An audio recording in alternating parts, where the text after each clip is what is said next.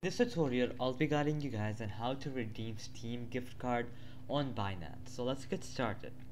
Unfortunately, it's not something that is still possible. So there's no way that you can redeem a Steam gift card on Binance. However, you can redeem normal gift cards, but you can't redeem a Steam gift card on Binance.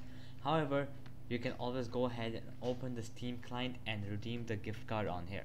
So here's how you can do that you're gonna click on this men, um, your profile on the top right corner and you're gonna click on view my wallet.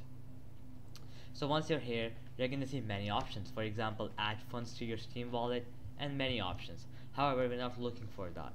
You're gonna go ahead over to this area and you're gonna see two options. See my account details or redeem a steam gift card or wallet code.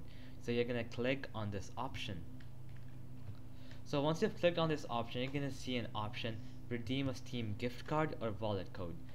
So what you're going to do is, let's say you have the Steam card in your hand right now, you're going to take a coin and you're going to rub it off and you're going to see the Steam code.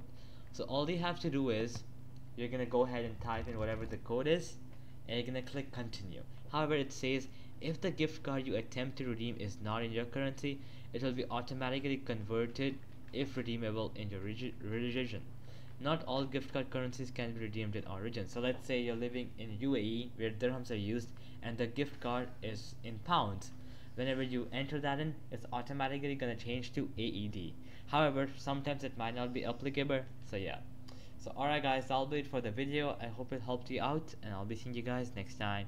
Peace out.